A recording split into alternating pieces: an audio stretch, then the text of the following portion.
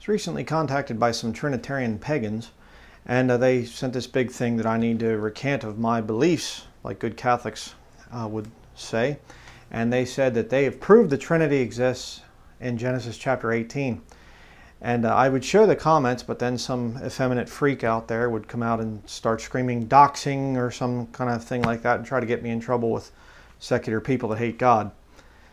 So uh, I'm not going to show you the comment, but I'll show you their argument. Genesis chapter 18. Show you how desperate these pagan Trinitarians get. Genesis chapter 18, verse 1. And the Lord appeared unto him in the plains of Mamre, and he sat in the tent door in the heat of the day. And he lifted up his eyes and looked, and lo, three men, separate men, see it, stood by him. And when he saw them, he ran to meet them from the tent door and bowed himself toward the ground. And look what he says here and said, My Lord. Oh, so the three were there, separate people, but they're just one Lord. Oh. Let's keep reading. If now I have found favor in thy sight, pass not away, I pray thee, from thy servant. Let a little water, I pray you, be fetched, and wash your feet, and rest yourselves under the tree. And I will fetch a morsel of bread, and comfort ye your hearts, and that after that ye shall pass on, for therefore are ye come to your servant. And they said, notice it was singular, my Lord. He sees the Lord, and they said, the three, oh, I'm serious. This, this was sent to me. And they said, So do as thou hast said. And Abraham hastened unto the tent unto Sarah. And it goes on and on and on. You can read there, talks about, you know, that, that the Lord's there and he's telling Abraham what's going to happen. He's going to have a son and the whole thing. And Sarah laughs and the whole deal, if you're familiar with the story. But this is how desperate these Trinitarian pagans get. Okay? They say, this right here is the Trinity. Well, okay, I'd like to point out the obvious fact again the word Trinity is not there. Uh, neither do we see God the Father, God the Son, God the Spirit, three in one. Okay, uh, it's not there either. Um, but I'd also like to point out a very simple fact. If you were coming to a court situation and you said there's three men, and that proves that this is the Trinity, any lawyer, you know, just amateur lawyer is going to look and say, okay, where does it say Trinity? It doesn't. Um, couldn't it be the Lord and two other men with him, which is exactly what it is? We'll get to that here in just a minute. But uh, um, another point I'd like to make is if this is the Trinity down there on the earth, who's in heaven? God the Father, God the Son, God the Spirit, three in one. They're, they're, the three men are down there speaking in unison. You say, where's it, what about it says they said? Well, uh, yeah, some three men come to my house here and they say, hey, could we, you know, have something to eat or whatever else? And I'd say, well, would you like some spaghetti or something? And they and they said yes. That doesn't mean it was all in unison. Again, people get so desperate. But here's the real sin of this whole thing. And I said sin. It is an egregious sin to lie on this level.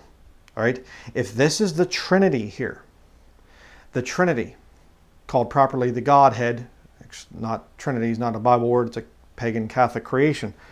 If this is the Trinity, okay, um, then God is a liar. We're going to go to the verse here in just a little bit, but Exodus chapter 33, God shows, God the Father, the soul, shows himself to Moses, and he says, No man can see me and live.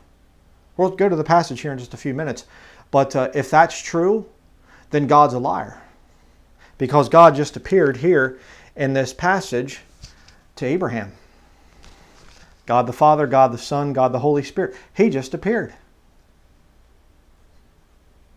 See, now if you're a Trinitarian, you got to go weasel off and you try to say, well, well, uh, you, you, see, um, yes, it was the, the bodily forms of the three, but but um, what it's talking about, no man has seen God at any time. Um, um that that's the, uh, the God the Father's soul, which, or you can just believe the Bible which they can't do actually because they're lost. They're dead in trespasses and sins. They're not quickened with the Holy Spirit. So truth is something that's always going to be elusive to lost people like the Trinitarians. But let me show you here. This is, by the way, this is not my normal Bible. This is a Ruckman Reference Bible, okay? You can see on the spine there, Ruckman Reference Bible. Let's look at the footnote of Ruckman's reference Bible here. Um, 18 verse 3, chapter 18, verse 3. Abraham sees three men and addresses one of them as my Lord. This will probably be the middle of the three. Two of the angels go down to Sodom and one stays. Verse 26. This man that the this means that the man is the angel of the Lord. No angel that shows up is sexless, and no angel that shows up has any wings. The demoniac winged Gabriel, who gave the entire Quran to Muhammad, had 600 wings, according to the Holy Hadith, Bukhari, volume 6, number 380. If true, Muhammad's Gabriel was a giant demoniac vulture. Amen, Dr. Ruckman. Okay, just to show you the footnote here, down at the bottom of the page there. Pause it and read it. Some of you idiot Trinitarians out there need to get a little bit of an education. All right? He doesn't say, I mean, Ruckman was a great Bible scholar, and he does not say, well, this must be the Holy Trinity. And I'm going to show you later on he teaches exactly what I teach on the Godhead. But let's look at verse 22. Okay? You can go through all the verses there where he's talking, you know, the Lord's talking to Abraham, telling him he's going to have a son, and Sarah's laughing and the whole deal. But let's get down to verse 22 the three men. Okay? Verse 22 And the men turned their faces from thence and went towards Sodom, but Abraham stood yet before the Lord. So the three men come. One is the Lord, the other two men leave. So that's a split in the Trinity there. I guess the Trinity just had a little separation there or something. Uh, or you can actually read context. Go to chapter 19. Verse 1 And there came two angels to Sodom at even, and Lot sat in the gate of Sodom, and Lot, seeing them, rose up to meet them, and he bowed himself with his face toward the ground. So, who were the other two members of the three member team there that appears in Genesis chapter 18? The Lord and two angels. Okay, not the Trinity. I'm sorry to all you pagans out there, you lost pagans, that think that you can get by with your Trinity teaching. You found some special magical verse. No, sorry. Um, and if you did, by the way, like I said, you'd be proving God to be a liar. Because the Bible says over and over again, no man's seen God at any time, in reference to the Father. You can't see him, he's a soul. Well, except for where he revealed himself to Abraham, right? Kind of weird why people would want to make God into a liar. But look at verse, uh, what do we have here? Verse 13. Genesis chapter 19, verse 13. Check this out. it says here, For we will, the angel speaking, For we will destroy this place because the cry of them is waxing great before the face of the Lord, and the Lord hath sent us to destroy it. The three that appeared to Abraham was the Lord and two angels. It wasn't the Trinity. Just read context, continue reading. Right? Again, I have some sympathy for Trinitarians because they're lost. In their lost condition, just all you got is the pagan philosophies of Rome and your catechism that says that the Trinity is the most important core doctrine of the faith, and you just have to defend it to the to the to the death. You know, understand that. You poor people, you need to get saved right? And if you're out there and you're a Bible believing Christian and you do what I once did, and you're mistakenly saying triune God or Trinity or God the Father, God the Son, well, God the Father is biblical, but God the Son, God the Holy Spirit, uh, you need to drop that stuff. All right, really. Unless you just want to say, I'm no longer a Bible believer, I just, I'm a Bible believer in some matters of faith and practice, and then I add some things from philosophy. Be honest. Be honest. Okay? You're not a Bible believing Christian if you say the word Trinity. Plain and simple. I'm going to stop watching your videos. Please do. Please do. Okay? I really wish people would take their own advice. I'm unsubscribing. Good. Good. Do that. Exodus chapter 33, verse 18 through 23. We'll read the passage here where God is dealing with Moses. And he said, I beseech thee, show me thy glory. Moses speaking to the Lord, Show me thy glory. And he said, I will make all my goodness pass before thee, and I will proclaim the name of the Lord before thee, and will be gracious to whom I will be gracious, and will show mercy on whom I will show mercy. And he said, Thou canst not see my face, for there shall no man see me and live, except for Abraham, because he saw the entire Trinity there in Genesis chapter 18, right? Um, if that's true, if you want to cling to Genesis 18 being the Trinity, you wicked Trinitarians out there, then you're calling God a liar. We know who your father is too, the father of lies. Uh, verse 21 And the Lord said, Behold, there is a place by me, and thou shalt stand upon a rock. And it shall come to pass, while my glory passeth by, that I will put thee in a clift of the rock, and will cover thee with my hand while I pass by. And I will take away mine hand, and thou shalt see my back parts, but my face shall not be seen. Okay? There is passages of Scripture in the book of Revelation where they're seeing souls. John sees souls. So I do believe that you can see a some whatever the soul looks like. Again, that, the Bible's not real crystal clear on what it looks like. It could be the shape of a body. You kind of get an image in your mind of the shape of a body, but it's very bright, kind of a light emanating from this bodily form. We really have no idea what a soul looks like. Really have no idea. But it's what Moses saw right there. He sees God the Father, the soul, but he doesn't see his face. All right? Again, the Godhead can split up. That what's that's what makes him God and us just mortal men. I can't split off from my soul or my spirit as my body of flesh right now and walk around and do something, my soul do something else. God can. All right?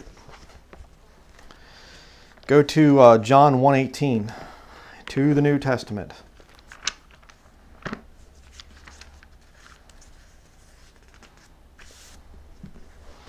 John chapter 118. And, and just, you know, again, I got to just pause here for a minute. You Trinitarians, okay? This is called a book, all right? And it's specifically called the King James Bible. Say it with me King James Bible, all right? Instead, instead of sitting there just with your gritting your teeth and weeping and wailing and things, instead of doing that, maybe you ought to go out and buy a King James Bible and actually look at it. All right? No iPhone app or little software on your little computer there. Okay, I know it's hard and I know you get the pages wet because you're sucking your thumb in things. I know, I know, it's hard. But grow up sometime, all right? Look the verses up. John chapter 1 verse 18. No man hath seen God at any time, the only begotten Son which is in the bosom of the Father, he hath declared him. Uh, unless you believe that the Trinity, Trinity appeared to Abraham in Genesis chapter 18. God's a liar, according to the Trinitarians that would use Genesis 18. I mean, what kind of a mindset do these people have? Anything goes. Nothing is off limits with these people. Whatever it takes to prove their pagan philosophy of this Trinity thing. It's disgusting. Show you another verse of Scripture. And then we'll end it. Because I realize the Trinitarians, they haven't even watched the video. You know, they watch a few minutes and then they, they just go and they, you know, go off into some rant someplace and they they turn their little webcams on and they start making new videos, you know. Denlinger to call this Denlinger. I'm gonna I'm gonna go after Denlinger in any way I can. We'll bring Denlinger down.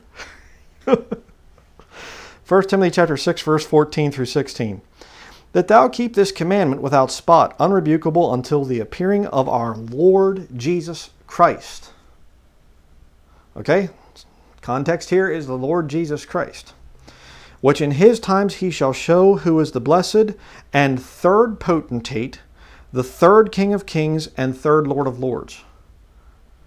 Oh, no, it doesn't say that. It says, uh, who is the blessed and only, only potentate, the King of kings and Lord of lords. One.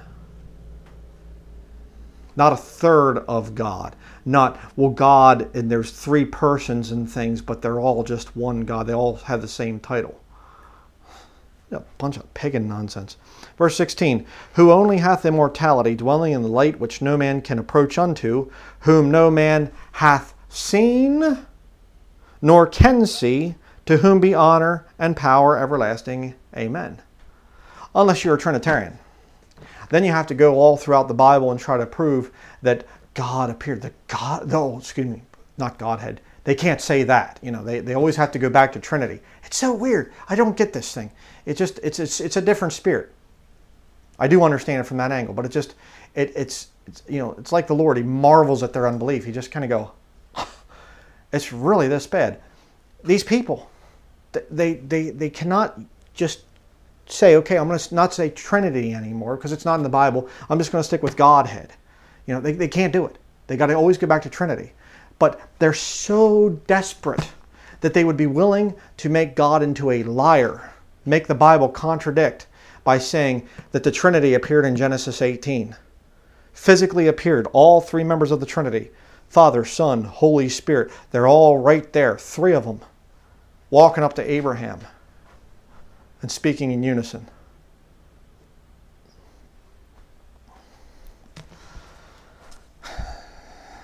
What more can I say? Okay?